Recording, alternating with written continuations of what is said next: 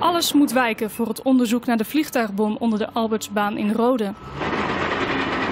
De komende weken wordt de parkeerplaats voor het winkelcentrum opgebroken om het zware explosief uit de Tweede Wereldoorlog te vinden. Het gaat hier om een, eh, een GP-bom noemen ze dat, 500 pond. Er zit ongeveer 66 kilo explosieve stof in. 66 kilo springstof.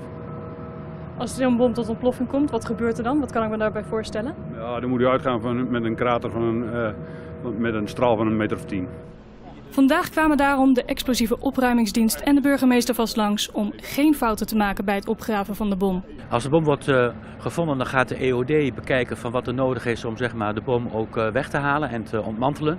Dat ligt er ook even aan in welke vorm men de bom vindt. En wij bereiden ons nu ook voor op de scenario's dat we dan eventuele ontruimingen en dergelijke moeten gaan toepassen. En dat zou betekenen dat tijdens het opgraven van het explosief ruim 600 mensen hun huis uit voorzorg moeten verlaten.